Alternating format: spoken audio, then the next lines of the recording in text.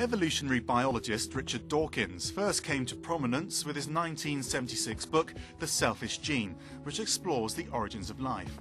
An outspoken critic of creationism, Dawkins' atheist views have put him at the centre of controversy. Today marks the 150th anniversary of the publication of Charles Darwin's seminal work on the origin of species. Darwin's description of the theory of evolution that populations evolve over the course of generations through a process of natural selection is the very basis on which Dawkins builds his thesis. The scientist's latest argument for evolution versus creationism is titled The Greatest Show on Earth The Evidence for Evolution. Described as Charles Darwin's Rottweiler, Richard Dawkins is our connector of the day. He's questioned biology, religion, even morality, but as Richard Dawkins told me earlier, one thing he will never question is the legacy of Charles Darwin. Dan Dennett, the American philosopher, described it as the best idea anyone ever had. It's such a powerful idea. It's an extremely simple idea, but the amount that it explains is simply colossal. It explains the whole of life, the diversity of life, the beauty of life, and above all, the illusion of design.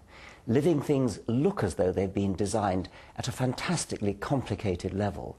What, and before Darwin came along, everybody thought they were designed. What Darwin showed is that you can get the illusion of design with virtually nothing. I mean, with a very, very simple idea using the ordinary blind laws of physics. Okay, we want to go through the viewer questions, which we've had an enormous amount for you from a whole range of different people all over the world. Uh, David B asks, uh, what's the reality for the future of human life on planet Earth? It's a typical sort of question we're getting for you because they're these huge, broad questions, but they're yeah. questions that you have to I, address. I, I, I, get that question all the time. Nobody knows. I mean, it, it's, not, it's not a thing that you can ever, with any certainty, answer.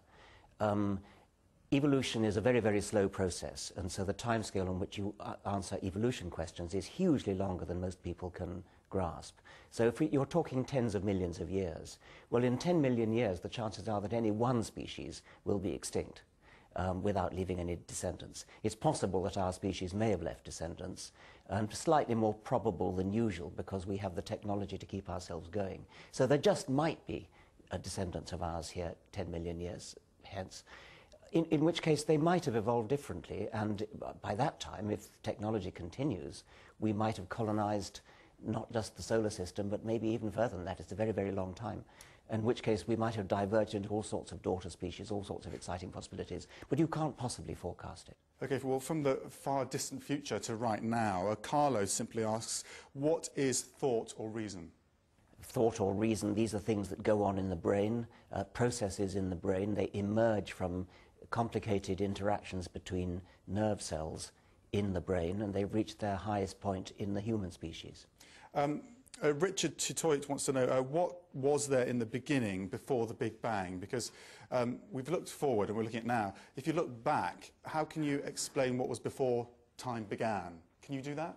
It's very important to understand that this is not a question for a biologist. Uh, uh Darwinian biology starts about 3.5, 3.6 billion years ago, whereas the universe began about just under 14 billion years ago. Is it a thought you entertain sometimes? Yes, but, but only as an amateur because I'm a biologist, as Darwin was a biologist. There's a very common misunderstanding that, the, that Darwinian evolution somehow explains the origin of the universe. It's nothing to do with the origin of the universe. The origin of the universe is a matter for cosmologists. The Big Bang is a matter for cosmologists.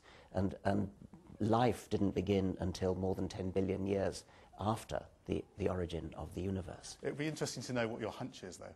No, it wouldn't. Hunches aren't interesting. Only informed, science. Only informed science. Okay, Paul's written in. He's um, written in about Ray Comfort. He's an evangelical Christian. He's got very different views from you, opposite views, you could argue. Um, he's asking, how can Darwin's origin of species be refuted in 54 pages, which is effectively what Mr. Comfort's trying to do, isn't it? There is no refutation of uh, Darwinian evolution in existence. If a refutation ever were to come about, it would come from a serious scientist, not an idiot. Well, if he says a flower is based on God's creation and you say it's through evolution, then he's got a right to that opinion as you much as you. You asked me a moment ago for my hunch, and I said hunches aren't interesting, hunches aren't valuable. What's important is scientific evidence. It doesn't matter what Mr. whatever his name was, Comfort, what his opinion is. It doesn't matter what my opinion is. What matters is the evidence. The evidence is absolutely clear. The evidence is in favour of evolution. Okay, and uh, Ken's question is how does evolution prove there's no God? Well, it doesn't. Uh, you can't prove there's no God. You can't prove there are no fairies. You can't prove there are no leprechauns. You can't prove that Thor and Apollo don't exist. Someone has to come to you and prove this. Yeah, I think there's got to be some kind of a positive reason to think that, that fairies exist. Uh, and until somebody does, uh, we can say technically we're agnostic about fairies. Uh, we can't disprove them, but we think it's a bit of a waste of time trying. And the same goes for God. And I just want to end with a thought on Charles Darwin. Um, from, you obviously know his work so well and you get an insight into the person. Um, did he know, did he have a hunch that this book would become so important and so long lasting? Yes, I think he did. I mean, what would he, I'm, I'm wondering what he would think about us sitting here talking about it and the impact Um, it's had. I think he had a pretty good hunch. I mean, one indication of that is a kind of backhanded one that he delayed 20 years before publishing it after getting the idea.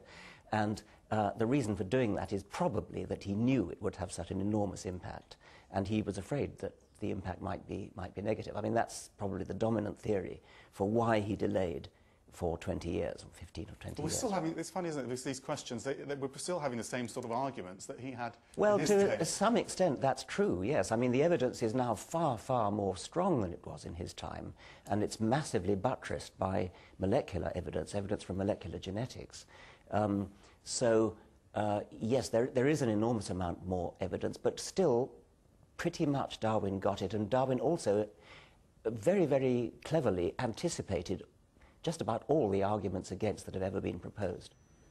Richard Dawkins on Charles Darwin there. Around, around halfway through that interview, you may have heard Dawkins refer to Ray Comfort as an idiot. Well, Comfort's uh, group plans to distribute 100,000 copies of Darwin's theories on college campuses with an introduction that takes an evangelical Christian point of view. And we invited Comfort to respond to the name calling there from Mr. Dawkins, and we received a statement from him a short time ago. Uh, we want to read it to you. Uh, if the views expressed in my introduction on the origin of species are idiotic, why would Mr. Dawkins tell students to rip them out of his book, as he did recently?